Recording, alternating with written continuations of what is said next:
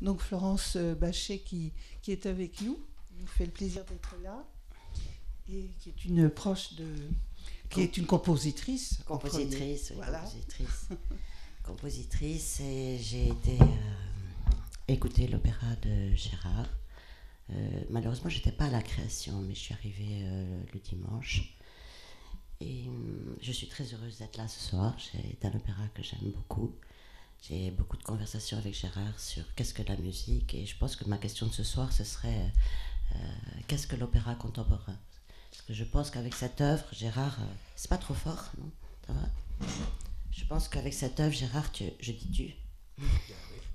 Tu es arrivé à, à, synthétiser quelque part, une, pour nous compositeurs, une forme de cadre de, de ce qu'est vraiment l'opéra contemporain, comment éviter les pièges de l'opéra euh, traditionnel avec l'aria, l'arioso, le récitatif, etc. Là, la difficulté, c'était qu'il y avait trois contes.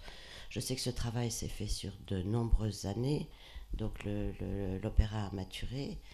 Euh, il faut rajouter en ça que euh, j'entends qu'il y a une symbiose absolument exceptionnelle entre le livret, la musique, les costumes, les décors, ce qui permet déjà de donner au titre générique de l'opéra contemporain une vraie forme contemporaine.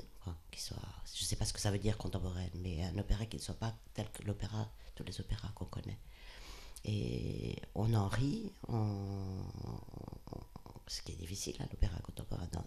quand je dis opéra contemporain, je dis pas tous les opéras qu'on entend aujourd'hui dans les salles de musique contemporaine. Hein. donc c'est ça que j'entends par opéra contemporain. Donc ma question est suivante. Comment, euh, avec tout ce travail qui a duré, je crois, 7 ans, 8 ans euh, La proposition de, de, Caroline Sonrier, donc, qui est directrice de l'Opéra de Lille, c'est d'elle que tout est parti. Je crois que c'est une des rares personnes avec Catel Herbert qui est dans la, qui est dans la salle, à, connaître tout ce que j'ai fait pour la scène. J'ai fait quand même plusieurs choses. Mais à chaque fois, la, forme était différente. C'est un peu comme Pérec qui disait euh, chaque livre doit être un projet différent, une chose différente. Je trouve que si on refait des, choses un peu semblables, euh, on s'ennuie en l'écrivant et donc on a plus de chances évidemment d'ennuyer ceux qui l'écoutent. Et hum, je me souviens plus de ta question. Je, trouve le, le, pari compositionnel euh, assez exceptionnel. Trois contes, trois histoires différentes, donc difficile de les relier dans la forme, et euh, un traitement de, la forme opératique euh, avec un instrumentarium varié, parce qu'il y a des gazous, le piano est préparé, l'instrumentiste joue dans tous les sens.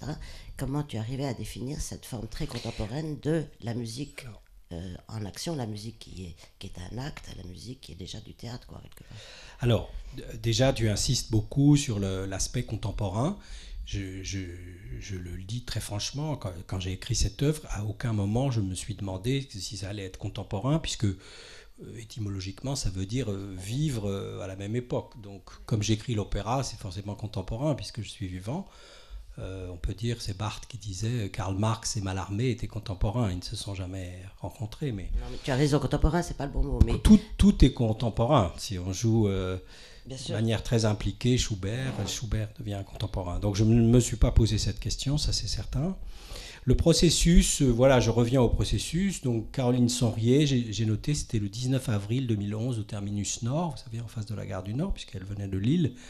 Elle m'a dit très généreusement, voilà, tu, tu te propose de faire quelque chose, mais c'est ce que tu veux. C'était très ouvert. Ça pouvait être euh, de la danse, ça pouvait être un oratorio, ça pouvait être tout, ce qu'on voulait.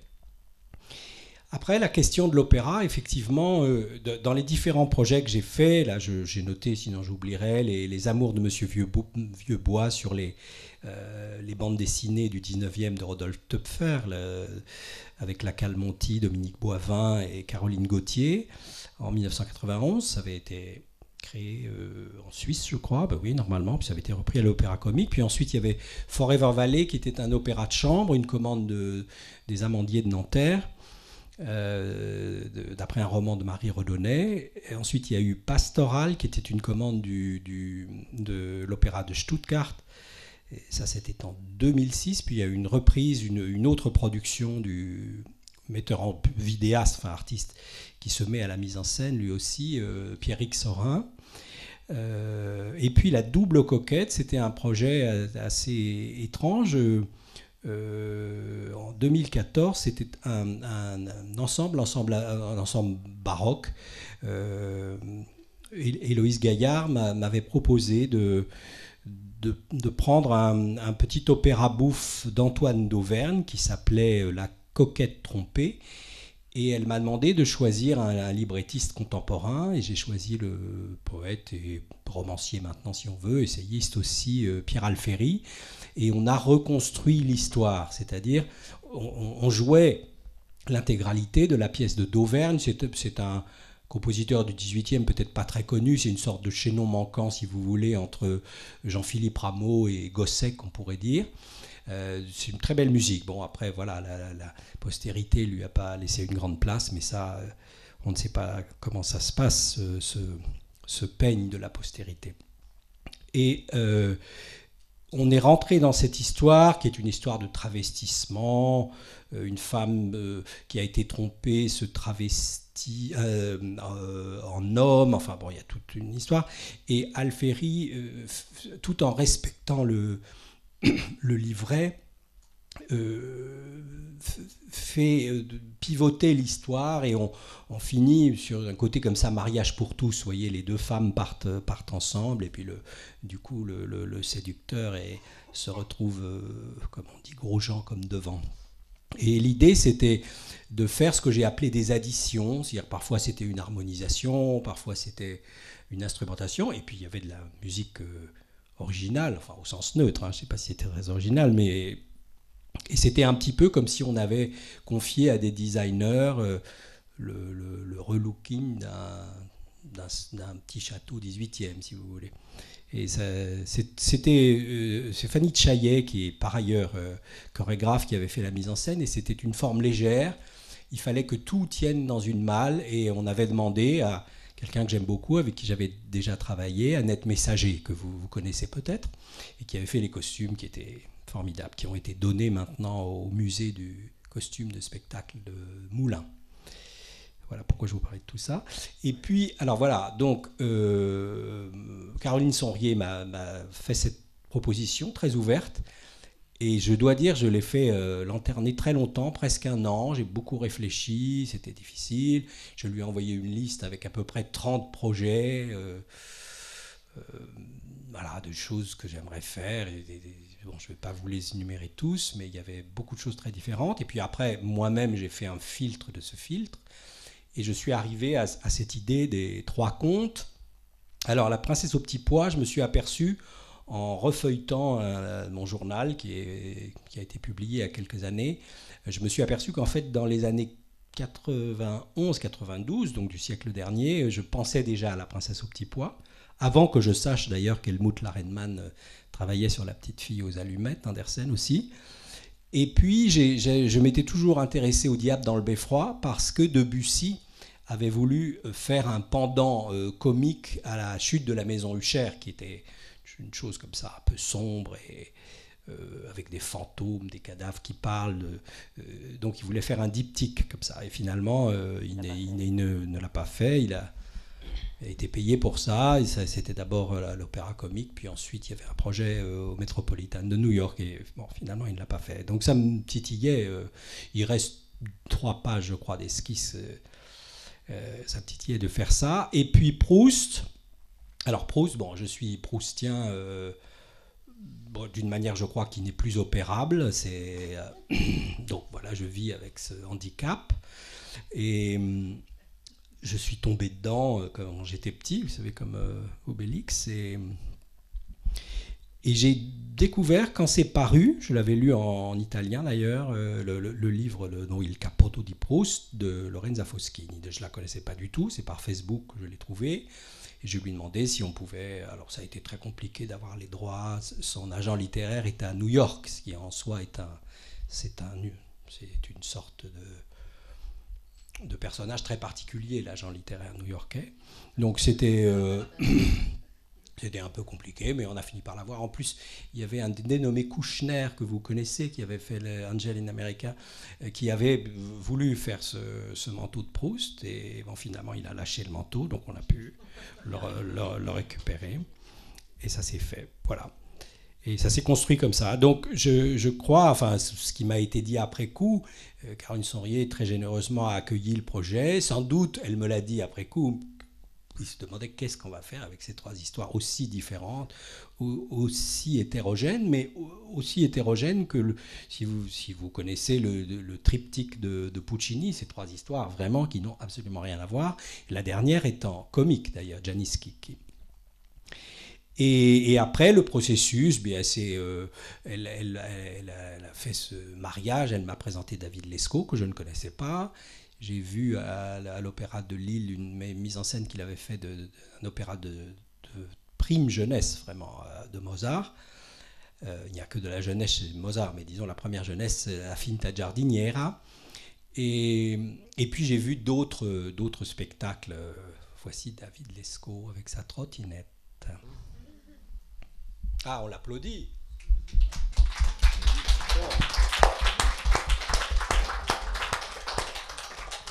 On a parlé de toi un peu. Tes, oreilles ont sifflé. Tes, oreilles ont sifflé. Tu travaillais. J'expliquais tout le processus. Donc quand, quand j'ai fait ta connaissance, donc j'ai vu des spectacles. Et puis ensuite, euh, on lui a présenté le projet, il a réfléchi, il a accepté, on était tout contents. Et, puis voilà, on a commencé à travailler ensemble, mais peut-être là, euh, David en parlera. je tiens à dire, c'est une chose très importante, c'est que pour moi, là, c'était une expérience tout à fait singulière, parce qu'il se trouve que David est musicien. Il joue lui-même de la musique, il en écrit aussi, trompettiste, guitariste. On l'a entendu dans un spectacle magnifique, un spectacle court euh, sur Nina Simone. C'était à l'espace Cardin. Euh, et voilà, donc il, aime la musique. Il, avait suivi un peu la production d'ailleurs de Forever Valley euh, en 2000. Donc on se connaissait d'une certaine manière, enfin d'une manière asymétrique, mais. Et, pour moi, c'était quelque chose d'incroyable de, de pouvoir. Euh, je me souviens quand il m'a téléphoné, que les, répétitions avaient commencé et qu'il me posait des questions de, de, solfège. Vous voyez, j'avais jamais eu un metteur en scène qui me disait là, un triolet, on pourrait le déplacer, là, est-ce qu'on pourrait faire un point d'orgue voilà. Et quand je lui ai envoyé les partitions d'orchestre, il lui arrivait de reconnaître les citations. Vous avez remarqué qu'il y a tout un réseau de citations et qu'il y a un thème qui est le Zarathustra de Strauss qui, qui fonctionne comme une sorte de sonal, comme s'il allait y avoir une coupure publicitaire à chaque fois, vous voyez. Et, et, d'ailleurs, l'entièreté du premier acte est un peu... Euh, l'histoire de la musique en time-lapse. Vous voyez, il y a énormément de citations. Dans, dans la scène, euh, dans la quatrième variation, vous entendez la scène d'amour de Butterfly de Puccini. Bon, un homme, une femme, vous avez reconnu, bien sûr. Et, et dans l'orchestre, et bon, les, critiques, on a eu pas mal de critiques, et les critiques, mon avis, se focalisaient un peu trop là-dessus, mais comme ça, ils avaient quelque chose à dire. Et dire qu'ils avaient reconnu. Oui, alors, mais certaines choses n'ont pas été reconnues, et puis surtout l'orchestre qui a travaillé trouvait des citations qui en fait n'y étaient pas. Euh, je crois le pianiste a trouvé une citation de Abba, c'est des artistes que je connais mal, je dois dire, et donc je ne, ne serais pas autorisé à les citer puisque je ne les connais pas. Et et Georges Elie Octors m'a montré une citation d'un thème de Bach qui y était réellement, mais c'était le pur hasard statistique. Vous voyez, il y avait les rythmes et les notes, mais moi je, faisais du Bach sans le savoir, un peu comme Monsieur Jourdain. Juste euh, remercier euh, David d'être arrivé là, et puis bienvenue euh, dans la maison. On vient de regarder les 40 minutes de, des trois contes, et vraiment bravo pour le pour tout, pour la mise en scène, euh, les décors, euh, euh, le jeu d'acteurs, des chanteurs, enfin tout est, magnifique, comme je l'ai dit à Gérard tout à l'heure et à Florence. Donc voilà, ben, je vous laisse parler. Et surtout aussi, c'est la grande proximité entre la mise en scène et le contenu de la musique et son, discours. Et ça, c'est vraiment... Je ne savais pas que vous étiez musicien et je comprends maintenant cette, fabrication qui s'opère entre la musique et ce qui se passe sur le plateau. Alors à vous. Bonsoir à tous. Pardon pour ce, pour ce petit retard. Peut-être, je pense celui-là. Le mien, oui. oui d'accord. comme ça.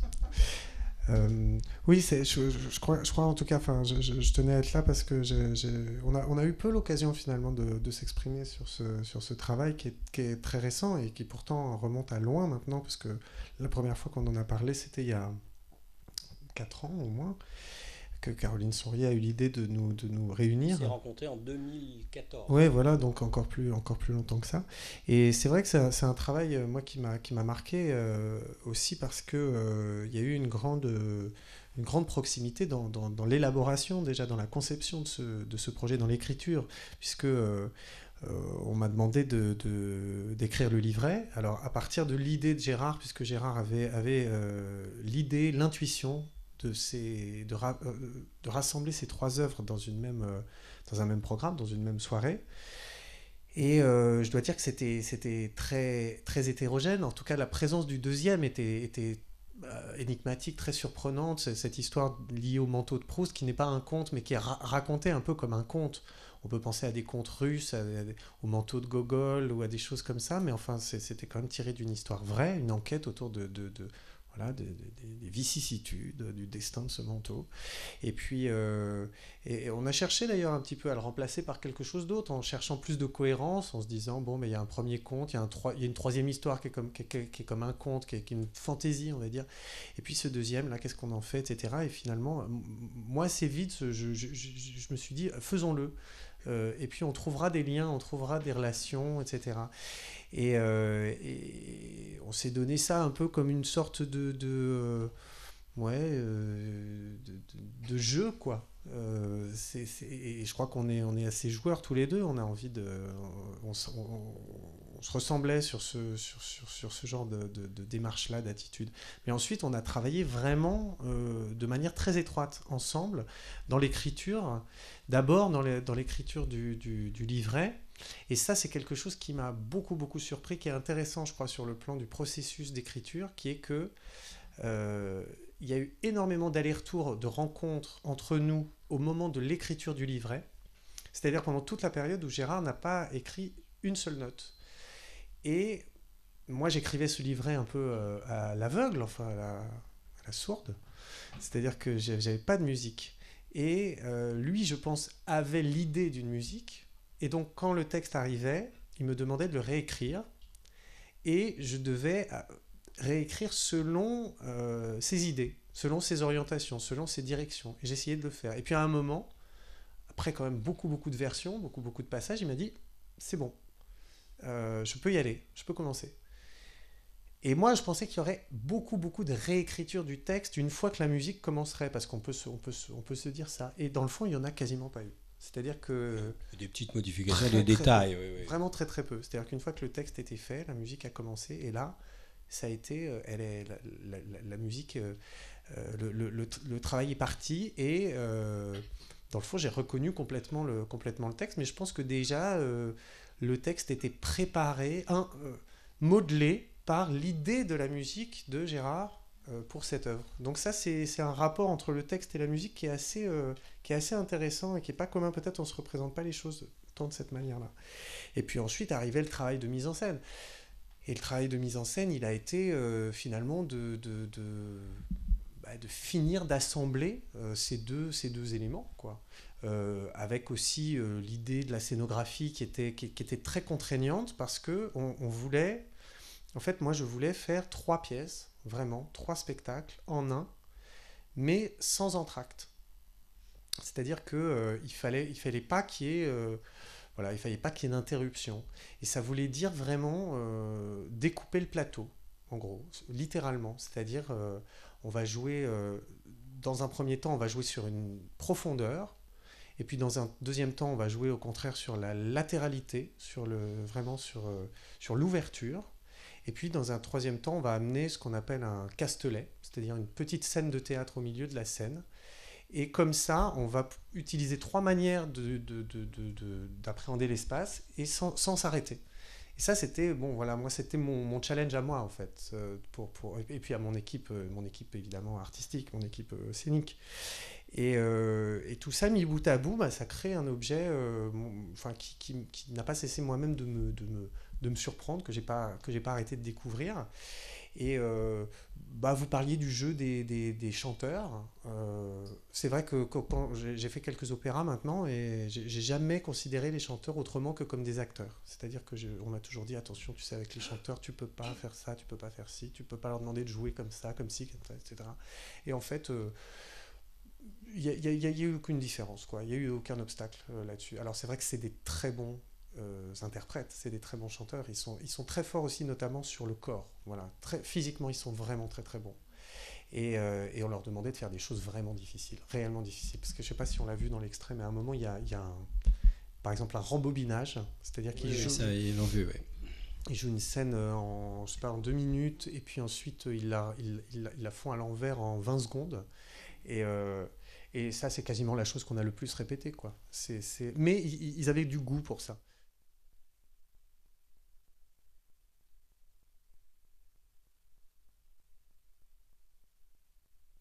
etc. C'est moins important, ça m'intéresse moins, ça mettra moins en valeur mon art euh, de, chanteur, de lyrique.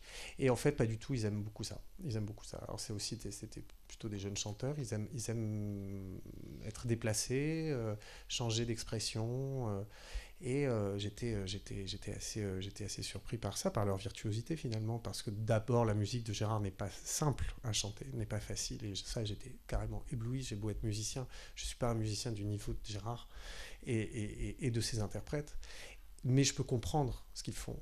Et sans arriver à le faire moi-même, je peux, je peux comprendre et je peux peut-être aussi un peu les aider à le faire. Mais euh, ça n'empêchait pas que j'étais complètement ébloui par la technique et par la maîtrise que ça demande et, l'ensemble, et par cœur, et l'ensemble des choses qu'il faut arriver à intégrer parce que finalement je leur rajoutais, comme, comme ce que je leur demandais était très physique, très rythmique, mais rythmique au sens de l'engagement du corps et presque rythmique au sens chorégraphique, euh, ça rajoutait une nouvelle partition rythmique sur une partition rythmique qui est déjà très compliquée. Parce que, en gros, les mesures de Gérard changent euh, de forme, euh, de métrique très très souvent à l'intérieur d'un même air. Et à côté de ça, moi, je rajoutais du rythme. Et, donc, ça fait encore une polyrythmie plus compliquée que ce qu'elle est au départ. Et ça, pour ça, il faut des très bons chanteurs. Donc, on a des très bons chanteurs, rassurons-nous. c'est des chanteurs français. Hein, et ils sont vraiment très forts.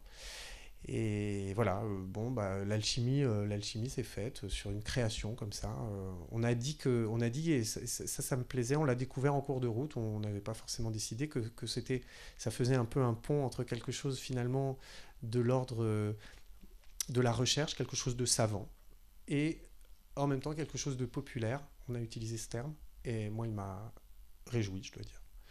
Donc de pouvoir à la fois faire ce, ce, lien entre deux, euh, deux extrêmes qui ne sont pas si souvent euh, rassemblés. Quoi. Mais c'est surtout aussi sur. Pardon, je vais bien. Si, parle pas si fort peut-être. En tout cas, ce qu'on voit sur le plateau par, rapport à tout ce que vous venez de décrire du travail des chanteurs, c'est qu'il y a un plaisir immense à être sur ce plateau, à faire même ces métriques différentes du corps, etc. Et il y a un plaisir total, et pour euh, les musiciens d'orchestre et pour les chanteurs sur le plateau, à donner, à, voir et à entendre cette musique. Ça, c'est vraiment euh, formidable et merveilleux à regarder et à écouter. Oui, pour, pour compléter ce que, ce que vient de dire David, c'est vrai que on, ne s'attendait pas, parce que ce n'était pas la chose recherchée, mais qui correspond à quelque chose en, nous, en nous deux, qu'effectivement des enfants aimaient ce spectacle, des gens plus euh, qui ne connaissaient pas l'histoire de la musique, donc qui n'entendaient pas, pas forcément toutes les citations, on leur demandait pas ils avaient le droit de sortir, même s'ils n'avaient pas reconnu tout.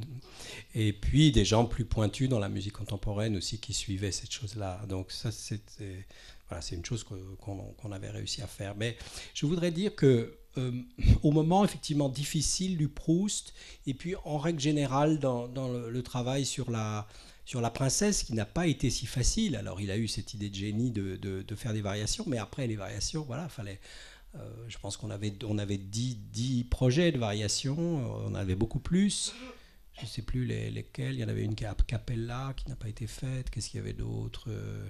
Il y a une version vraiment très un pastiche un peu de, de Metterlinck. Mais Metterlinck était pas mal là quand même. Il y y derrière oui, il y a, Debussy, Debussy, Metterlinck. Quoi. Quand elle entre pour la première fois, on entend mm. le début de, de, Péléas. Je suis amusé, ouais, Puisque c'est la princesse perdue, forcément. Donc ça, ça... Mm, mm, on en a mis certaines à la poubelle. Oui, beaucoup. Et et, pour le Proust, je, me souviens de la séance qui a décidé de ça, c'est quand il a dit, et il est excellent pour ça, dans ses pièces de théâtre aussi, c'est la narration en fait.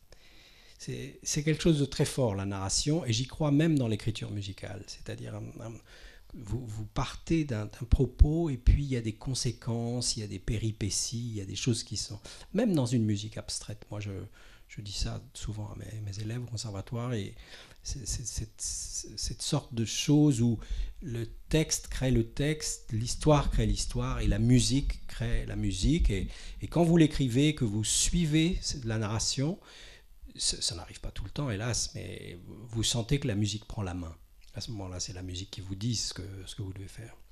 Dans le Proust, il y a une, la, musique crée une vraie dramaturgie. C'est là où on sent que la musique est acte et que la musique est une dramaturgie de par la scénographie, parce que ça circule de gauche à droite comme une narration, mais il y a une tension, une forte tension dramatique qui fait qu'on ne sait pas où on va, où vous nous emmenez, et, ça fonctionne très bien, même dans un rythme très lent, avec une musique microtonale, ça va très bien. Donc, moi, ce que j'aime beaucoup dans, votre travail, c'est qu'il y a quelque chose qui fonctionne très bien entre vous deux. C'est-à-dire que, par exemple, si tu reprends dans La Princesse au moment où elle recule, on sent que le fait qu'elle recule, ça relance le débat euh, de la narration on, est reparti pour, pour continuer la, 3 bis, la 4, la, 5.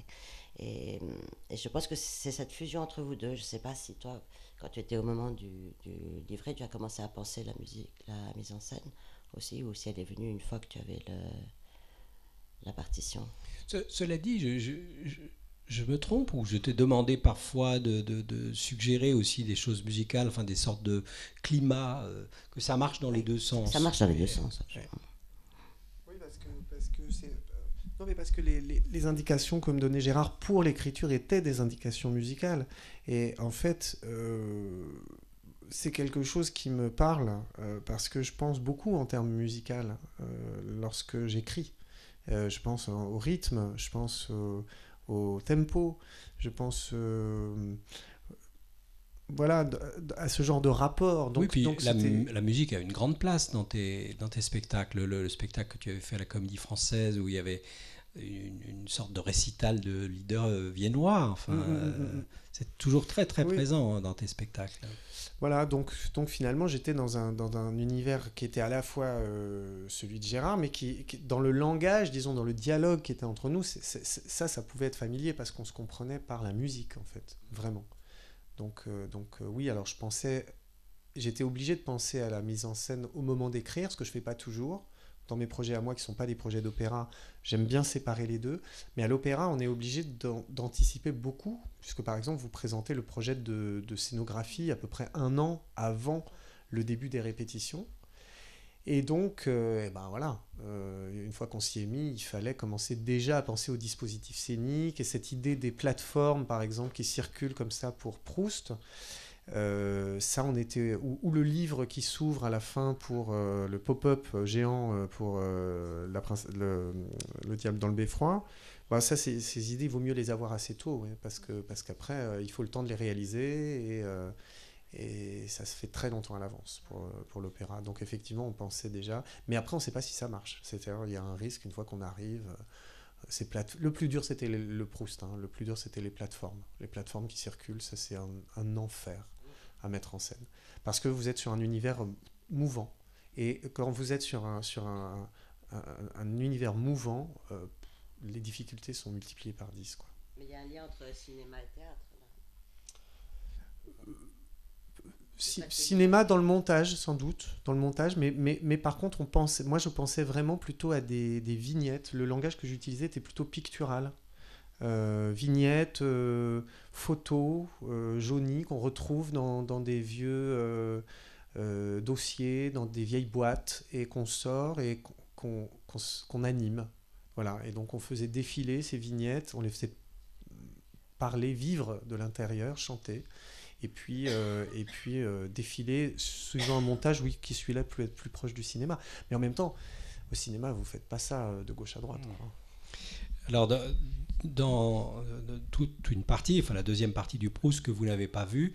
Du coup, vous n'avez pas beaucoup vu euh, l'importance de, de, ce tulle qui du coup donne un côté, voilà, efface un peu, recherche du temps perdu et, et qui permet de projeter. Donc vous avez vu à un moment une page manuscrite, mais ça intervient beaucoup plus dans la deuxième partie du spectacle.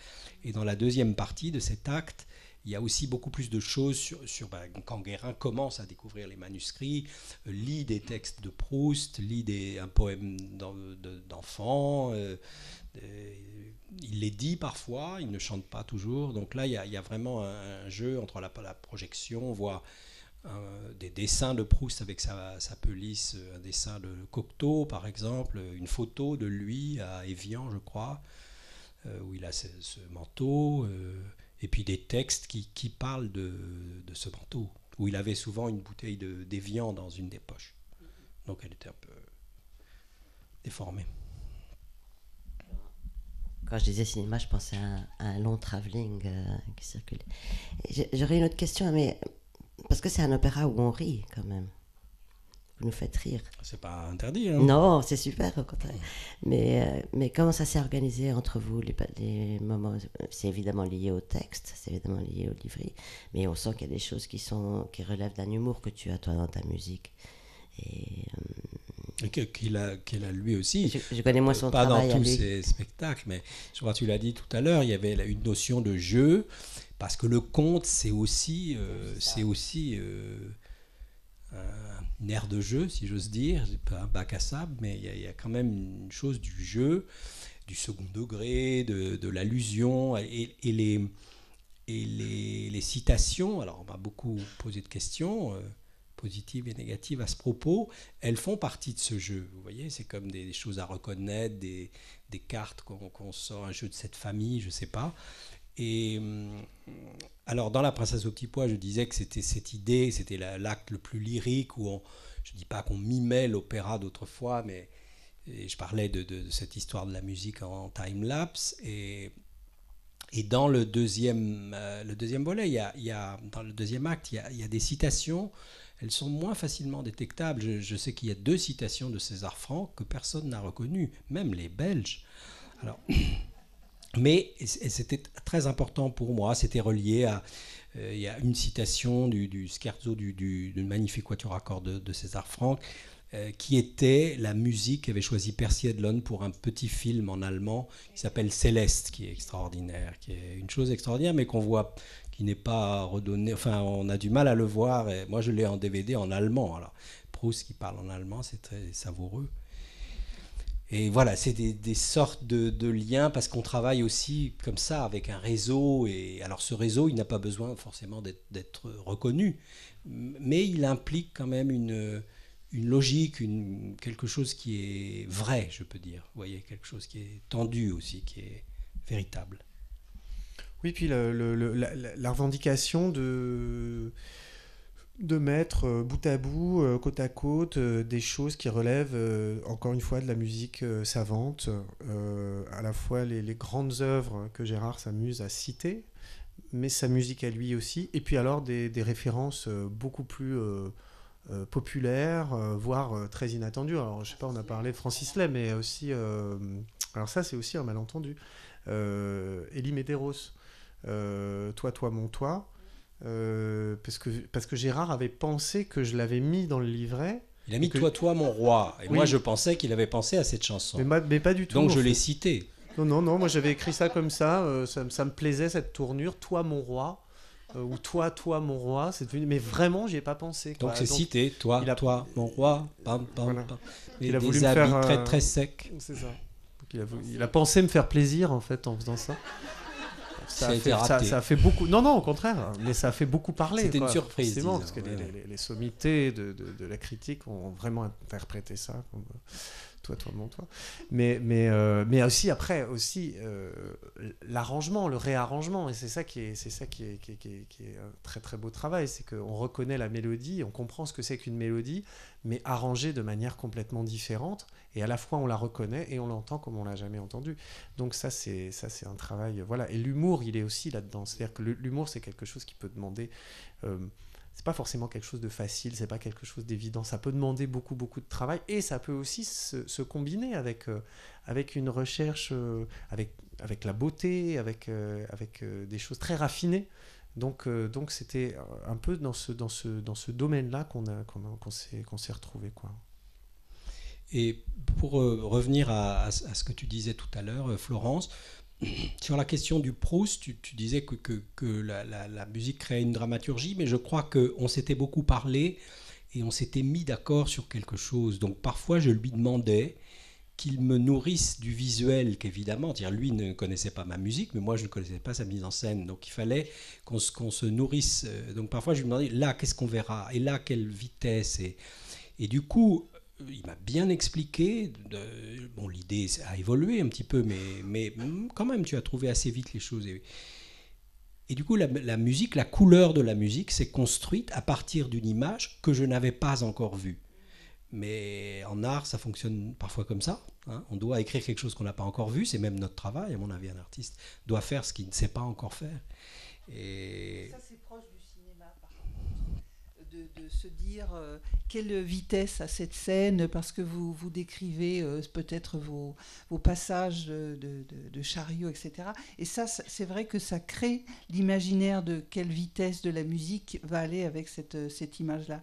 Donc pour moi, ça, oui, c'est très proche du cinéma de, de construire et d'écrire une musique par rapport à un rythme de quelque chose que l'on voit, ou d'une peinture, par exemple.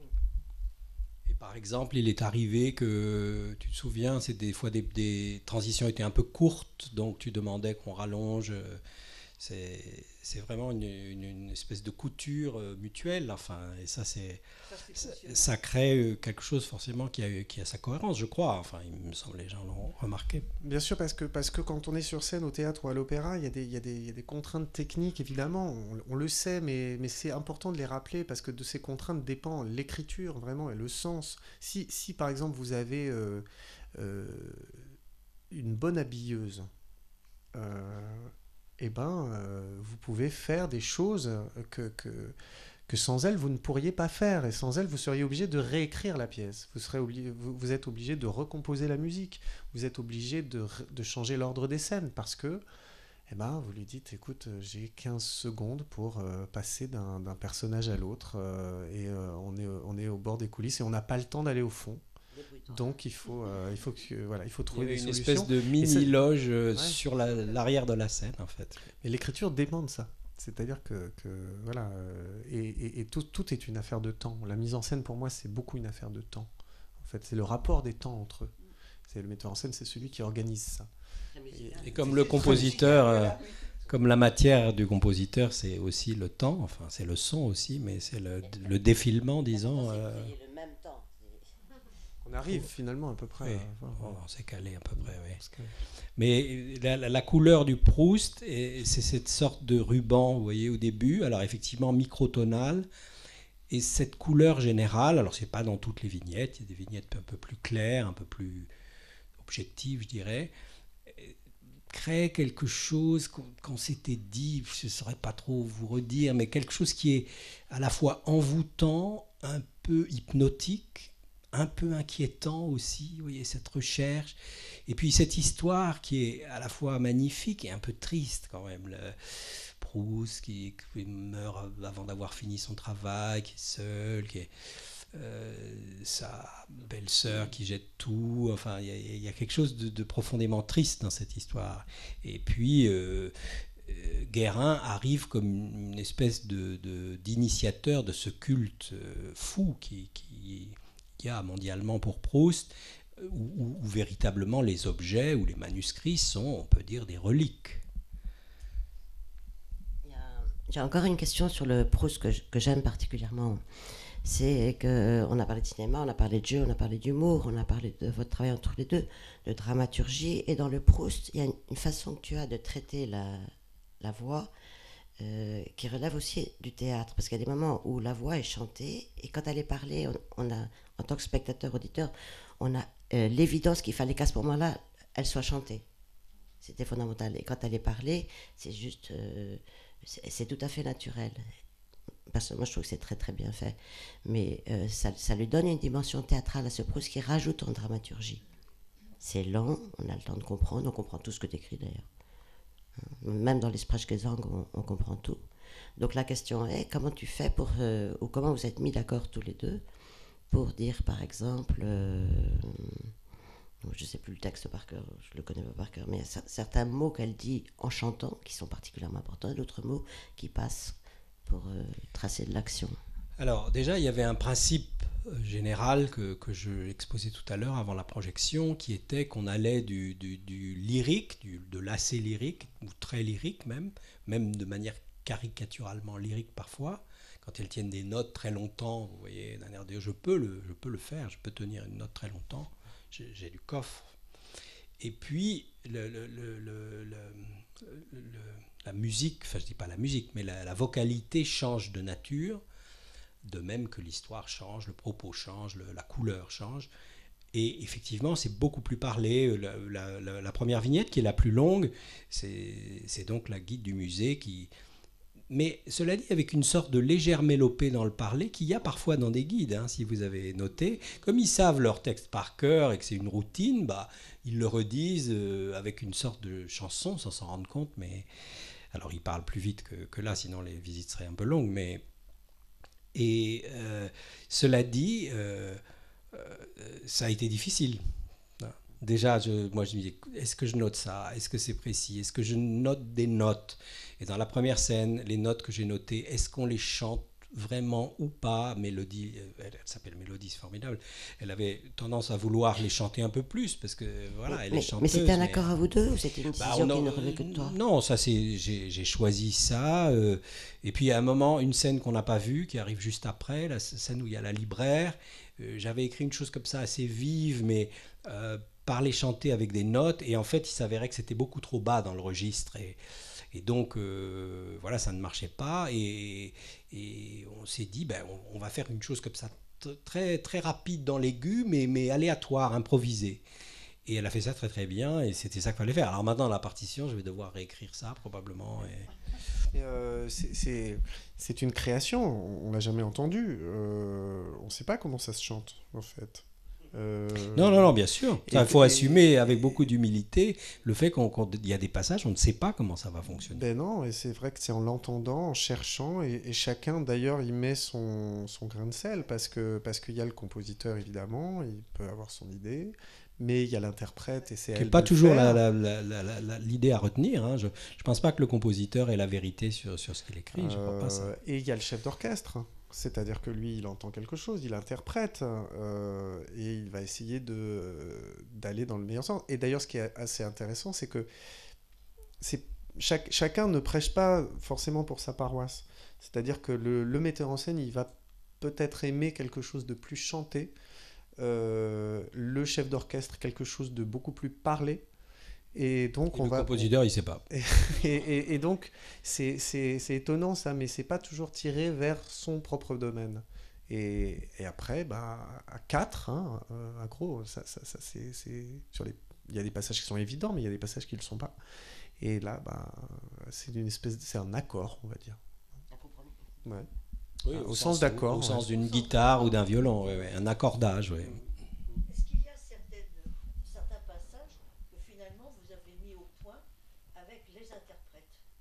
Ben, justement, voilà ce que je viens de vous dire, la scène du libraire que vous n'avez de la libraire que vous n'avez pas vue, où Guérin euh, euh, apprend qu'elle vient juste de recevoir des placards des, de correction des épreuves de Proust. Euh, ça, on a fait une séance avec le chef de chant et on a essayé. Bon, moi j'avais pensé à plusieurs solutions. Je leur ai dit écoutez, il n'y a pas 36 solutions, il y a ça et ça, on peut chanter. Elle, elle, elle était Maïlis, bon, elle était un peu anxieuse, la, la, création n'était pas très loin, donc euh, qu'est-ce qu'on fait Est-ce qu'on change Et puis finalement, j'ai suggéré ça et elle l'a fait très bien. Donc, elle, elle, avait mémorisé les rythmes et elle, euh, lâchait les notes. pourtant, elle les avait apprises, donc c'était difficile, mais et, du coup, comme elle était plus, plus haute dans le registre, ça, ça passait. Et surtout, il y avait du coup une sorte de... Psychologiquement, elle changeait un peu elle devenait très enthousiaste et très, et puis très vendeuse finalement. Hein. Elle était très efficace pour vendre les choses. et ça changeait le, caractère. Et, ça, on l'a trouvé, voilà, strada facendo.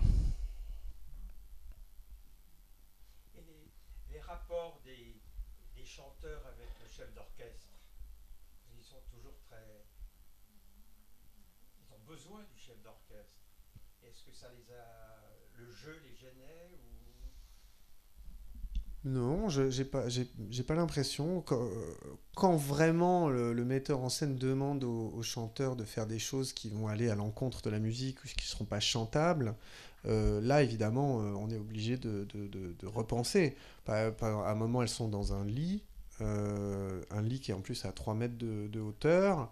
Il y a des manières de se tenir, il y a des positions qui ne sont pas possibles pour le chant. Donc... Eh ben, euh, c'est lui qui, se, qui fait savoir si, euh, si euh, ça, va être, ça va être possible ou pas. Non, mais pareil, hein, c'est un compromis. En général, elle le quitte pas des yeux. Enfin, il y a, y a, quelques secondes des fois, mais il y, avait des retours sur écran. Il y a les, vidéos, ils ont des retours les moniteurs vidéo qui permettent de regarder. Ils sont très très habiles avec ça, incroyablement. Ils sont très habitués, ils connaissent ça très bien. On ne peut pas imaginer à quel point. Mais, mais mais, mais alors, j'ai eu la chance, moi je sais que ça peut être l'horreur entre des metteurs en scène et des chefs d'orchestre. Moi j'ai eu la chance jusqu'ici de ne jamais être entré en conflit avec un chef d'orchestre. Voilà. Et là encore une fois c'était le cas. Et en plus sur une création, c'est la première fois que je faisais une, création. Euh, c'est peut-être parce que tu es musicien, cela dit. Oui, non, mais je pense quand même que j'ai de la chance parce qu'au-delà de ça, il y a quand même aussi des rapports d'ego et de, de, pouvoir, hein, d'autorité. Et euh, dans le fond, euh, j'ai jamais eu cette, ce, voilà. désagrément-là. Mais il a été d'une grande, grande, grande souplesse aussi. Georges Octor, ça l'intéressait de voir euh, ce qui se passait. Il, était vraiment très, très partie prenante de la mise en scène. On, en parlait d'ailleurs ensemble. Il y a aussi des choses de mise en scène qui. Euh, moi, je sais que j'aime bien, par exemple, parfois utiliser la profondeur. Ça peut être un problème, vraiment, à l'opéra. Donc, euh, voilà. Et Georges Elie, moi, il me le disait par mail il était très enthousiaste de la manière dont tu les nourrissais tous. Tu, leur donnais des pistes et, le chef d'orchestre en avait autant besoin que, les, comédiens. Je dis volontairement les comédiens, les acteurs. Et, ça donnait une sorte de direction poétique générale. Et après, il y avait une étape peut-être plus délicate, mais qui se fait toujours dans un second temps, puisque l'orchestre arrive beaucoup plus tard, pour des raisons de économie, sans, doute. Hein, on les a pas de mois, forcément. Et il y a un moment voilà, où, quand, la chose se construit, il, faut transmettre à l'orchestre des exigences de couleur, d'équilibre. On a été surpris des fois par des choses de balance. J'ai trouvé d'ailleurs dans, dans ce que j'entendais que, que, c'était un, peu, un peu fort les instruments. Alors que quand j'écoutais avec les gens de France Musique qui ont fait le, l'enregistrement, ça me frappait moins. Là, effectivement, je trouvais que c'était trop, présent. Et donc, à un moment, on a fait une. J'ai demandé qu'il y ait une sorte de. de pas une thérapie de groupe, mais on s'est tous réunis euh, avant la générale, je crois. Et je leur ai dit voilà, il, faut. C'est à portée de main ce qu'on a là, mais il faut faire un effort, tous un effort de couleur, parce que c'est nous tous qui faisons la couleur. Moi, mon travail était fini, je ne pouvais plus faire grand-chose, mais eux avaient ça en main. C'est-à-dire au début du pro, si je leur ai dit, il faut jouer beaucoup plus, beaucoup plus doucement, beaucoup plus piano. Là, ça paraît fort parce que c'est des micros, mais quand vous étiez dans la salle, c'était une chose presque indiscernable. C'était une, sorte de chose de fumée, comme ça, vous n'étiez pas sûr d'entendre. Et puis, comme en plus, ils jouaient des quarts de ton, et qui ne sont pas forcément toujours très habitués, donc c'est toujours des fois un petit peu faux, ça crée une petite chose un peu urticante, un peu, vous voyez, et, comme, comme, elle n'était pas très forte, ça, donnait quelque chose d'extrêmement trouble et. Euh, et rêver, disons, un peu rêver. Euh, ça, c'était une séance de travail incroyable. Euh, et effectivement, la, balance entre les instruments et les voix, euh, c'est vraiment un point très très sensible, d'autant que c'est une création, donc c'est quelque chose qu'on n'a jamais entendu. Et c'est un opéra, c'est-à-dire il va falloir que le, public comprenne, c'est en français en plus, donc il va falloir qu'ils comprennent directement le texte. Mais les musiciens, leur plaisir, c'est quand même de jouer une musique nouvelle qu'on n'a jamais entendue, donc ils vont vouloir qu'on l'entende. Et là, euh, là, il n'y a que le compositeur qui puisse trancher. Et moi, je me souviens très bien de l'expression qu'il leur a donnée, et c'était, même pas dans la salle, c'était au restaurant. Euh, après, la dernière, euh, après la dernière répétition, il leur a dit il faut que vous acceptiez d'entrer dans quelque chose que vous n'avez jamais entendu. Voilà. Il faut que vous acceptiez de jouer quelque chose comme vous n'avez jamais joué. Et, et, parfois avec le, comme on dit, collegno, c'est-à-dire avec le bois, avec le bois des violons ou des choses comme ça. Mais c'est des techniques qui existent et tout à coup ça, ça s'est éclairé et c'est ça qui a fait qu'on a pu trouver cette. Euh, c'est-à-dire, je, je, leur disais, je leur donnais cette licence de la déprise. Enfin, je leur disais, imaginez, vous allez jouer quelque chose que vous n'allez pas vous-même entendre. Il faut accepter ça. Et en faisant ça, qui est profondément antinaturel, évidemment, euh, parce qu'on leur a appris exactement l'inverse, même eux qui font beaucoup de musique contemporaine, donc ils en ont vu des, vertes et des pas mûres, hein, euh, c'est quand même un pas. Et, je, leur dis, si vous faites vraiment ça, si vous arrivez à, à, être dans cette sorte d'inconnu au, au bord du gouffre du son, alors là, on aura la couleur juste et qui au théâtre aura une force dramatique que vous ne pouvez pas imaginer. Et c'est donc dans vos mains, dans vos doigts, dans vos ongles, dans vos cheveux, parce que ça devient tellement léger que les mains sont parfois trop violentes, mais... Donc voilà, après c'est très, c'est quelque chose que j'ai beaucoup vécu, hélas, de dire jouer moins fort. Vous savez, on m'appelait Gérard Peu de son. Et donc, mais au bout du compte, c'est pas jouer moins fort, c'est pas ça. C'est chercher une autre couleur. C'est euh, trouver un geste, un geste instrumental approprié, éventuellement soustractif. Et, je leur dis, en partant de rien, il restera toujours quelque chose. il faut avoir cette, cette audace-là. Et du coup, cette grande séance, euh, tout le monde était là. Euh, à un moment, c'est difficile parce qu'on doit faire des choix dans, le passage où Marc Moyon, euh, Jacques Guérin dit le texte, il y avait une chose fantomatique qui était la citation d'un nocturne forêt. Et on a dû couper la, flûte. C'est difficile parce que si vous coupez, l'interprète pense que c'est lui qui, qui, joue mal, vous voyez. Donc il faut beaucoup de diplomatie et de dire non, c'est une erreur du compositeur. Ou alors la fausse n'est pas assez. Euh, moi je pensais que la fausse serait plus, euh, plus étouffante, quoi. Plus, vous voyez, qu'elle ferait une sorte de sourdine. Et comme la fausse ne faisait pas la sourdine, j'ai dit aux musiciens, c'est à vous de la faire, c'est à vous de faire ce que la fausse ne, fait pas. Et ça, c'est typiquement une chose, comme tu disais, d'adaptation, parce que quand on crée, bah voilà, on doit s'adapter.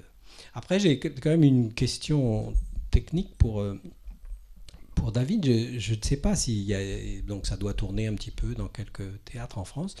Euh, est-ce qu'il y aura partout les dégagements pour faire le Proust ou est-ce qu'il faudra faire des adaptations? Non, non, il va falloir faire des adaptations. Mm. Donc ça sera quoi on... ça sera... Alors, je vois que tu y as réfléchi. oui, non, mais c'est-à-dire que je sais que ça va être, ça va être, ça va être un chantier euh, très, très, très compliqué, très épineux, mais on a réussi à faire entrer, euh, on a réussi à faire entrer une fois un spectacle qu'on avait fait à l'Opéra de Lille, puis à l'Opéra de Dijon. L'Opéra de Dijon, c'est immense. L'ouverture, la, scène, c'est. Et on a réussi à le faire entrer dans une des plus petites scènes d'opéra euh, en France, qui est l'Opéra de Rennes. Mais on, a, on avait un on va aller justement. Voilà, on, va, à Rennes. Donc, euh, donc eh ben, on va réduire parce qu'on a, on a, quatre, on a quatre plateformes en fait qui, qui, qui tournent et, il va falloir faire avec trois, je pense. Eh ben, on va adapter. C'est, de la, c'est, du redécoupage, en fait. Vous allez couper la musique? Non, non, non. Ah. Non, non. Non, non, on va couper des, on va couper des, on va, on va rassembler quelques, quelques, quelques scènes qui étaient séparées, euh, mais, mais sans, sans, s'attaquer à la musique justement. on va s'adapter. Promis. On peut en rajouter aussi éventuellement. On peut, on peut. Ah bah, Est-ce que si vous avez des questionnements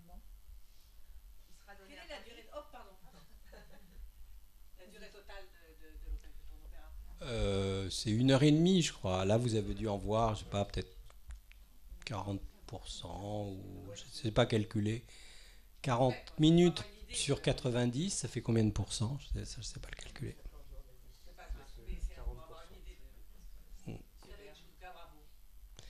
Alors, pour l'instant, il y a trois lieux Rouen, Angers, Angers, Nantes, qui, se regroupe, et, donc la plus petite scène de France, Rennes. Et le problème, qui n'est pas mince quand même, c'est que dans ces cas-là, on change d'orchestre, deux fois d'ailleurs, et on change de chef.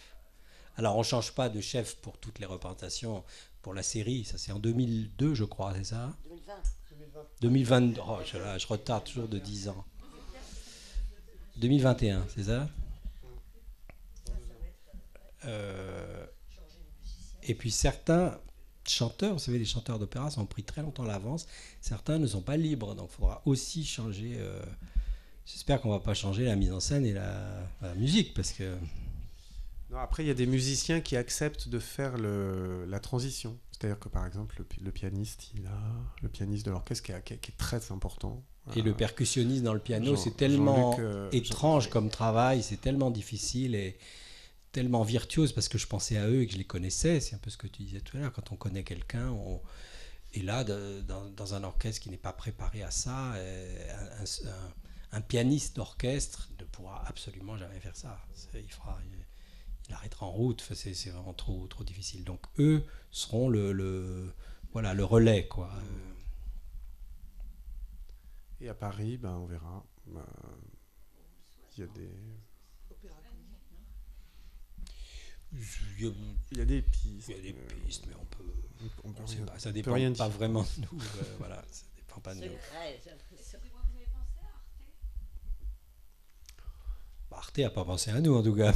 non. Euh, ben non, mais dès le moment où la captation a été faite, euh, euh et plutôt bien faite d'ailleurs, moi j'étais content hein, du, du, du, film. Hein. Mais euh, non, non, ça s'est pas fait avec Arte. Mais bon. Mais pourquoi à un moment elle a, elle a pas le petit pois C'est qu'il avait été oublié ou euh, euh, Tu sais dans la dans la carte je crois on a euh, fait ça il n'y a pas le petit pois. Non mais je crois qu'elle n'a pas le temps. Elle n'a pas, le temps. Elle n'a pas, le temps. Elle n'a pas le temps de l'avoir à ce moment-là. Oui, oui, je sais. Je lui ai dit d'ailleurs. Je lui ai dit quand, quand tu l'as pas, serre les serre les doigts, mais.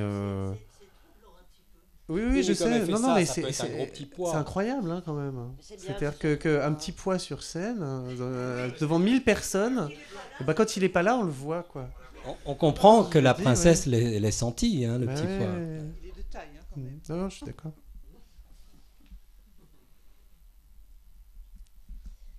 Oui, pour, euh, pour parler musique. Euh, donc tu dis que ta, ta, musique, on te disait souvent peu de son. Moi je trouve que bon, dans le Proust, en effet, il joue pianissimo, c'est très intime et, ça sonne très bien.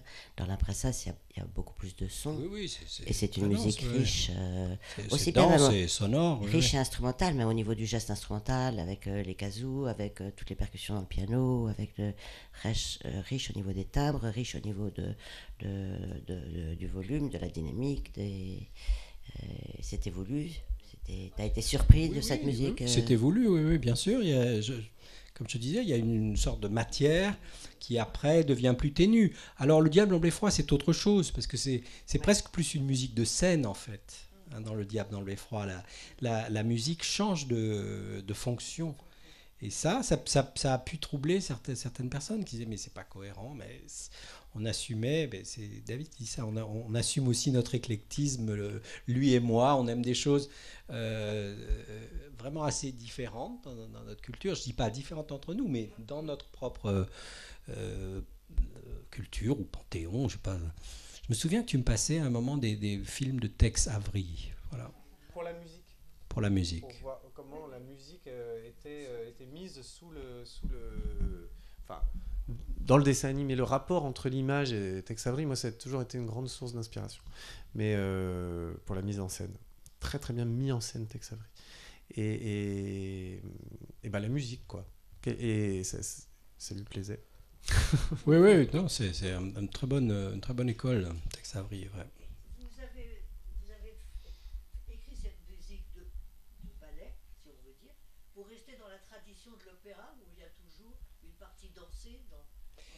Mais euh, oui, finalement, euh, après coup, je, me suis dit, oui, effectivement, on respecte ça, euh, mais en même temps, c'est dans l'histoire.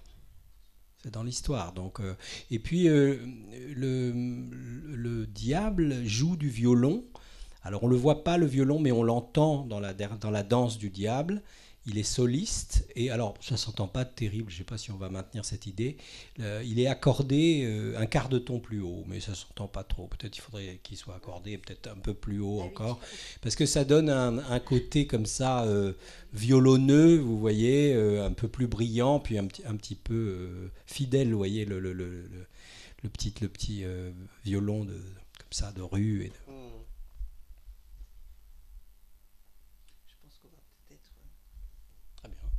juste euh, pour finir, euh, j'aime bien de, dire une petite euh, citation.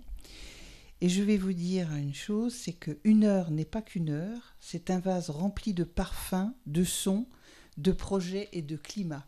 Et c'est de Marcel Proust dans Le temps retrouvé.